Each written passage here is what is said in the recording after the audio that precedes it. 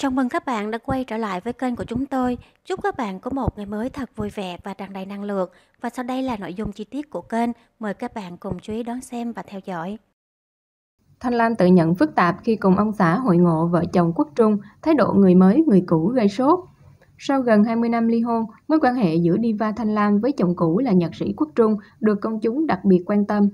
Diva Thanh Lam và nhạc sĩ Quốc Trung từng có cuộc hôn nhân hạnh phúc kéo dài 10 năm – Năm 2004, cả hai ly hôn sau khi có hai con chung là Thiện Thanh, Đăng Quang. Năm 2015, Quốc Trung khoe hạnh phúc mới bên vợ doanh nhân Hương Lan.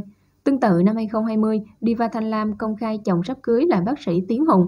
Mới đây trên trang cá nhân, nữ Diva gây sốt khi đăng tải loạt ảnh hội ngộ với vợ chồng Quốc Trung.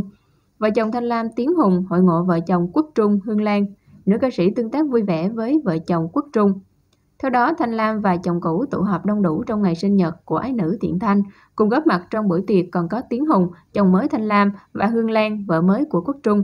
Nhìn trong ảnh, cả bốn người có tương tác vui vẻ. Thanh Lam thoải mái đứng giữa chồng cũ và chồng mới. Đáng chú ý, dân tình còn thích thú trước mối quan hệ thân thiết của nữ ca sĩ dành cho doanh nhân Hương Lan. Cả hai người phụ nữ cười đùa, vui vẻ, tạo dáng trước ống kính. Đây là lần hiếm hoi công chúng được nhìn thấy vợ cũ và vợ mới của nhạc sĩ Quốc Trung đứng chung khung hình. Có thể thấy đại gia đình nữ diva vô cùng gần gũi, con gái Thiện Thanh cười rạng rỡ khi chụp ảnh bên bố mẹ ruột và bố dượng mẹ kế. Thanh Lam thoải mái chụp ảnh cùng chồng mới và chồng cũ. Nữ diva thân thiết với người mới của chồng cũ, đại gia đình quây quần vui vẻ bên nhau. Đến kèm loạt ảnh, Thanh Lam có chia sẻ thú vị về hình ảnh hai gia đình hội ngộ. Cô viết, Chào Thu và sinh thần đôi bạn trẻ, các bạn già vất quá, được cái phức tạp mà đoàn kết.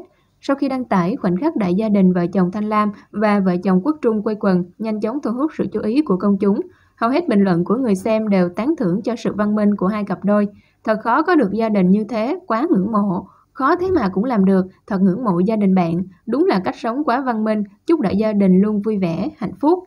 Gần 20 năm sau khi ly hôn, nhạc sĩ Quốc Trung và Diva Thanh Lam có mối quan hệ đặc biệt khi vẫn giữ quan hệ thân thiết và làm bạn với người mới của người cũ. Không ít lần dân tình bắt gặp hình ảnh quốc trung sánh đôi bên vợ cũ. Cộng đồng mạng càng thêm bất ngờ khi nam nhạc sĩ thường xuyên gặp gỡ bác sĩ Tiến Hùng, hai bên cười nói vui vẻ.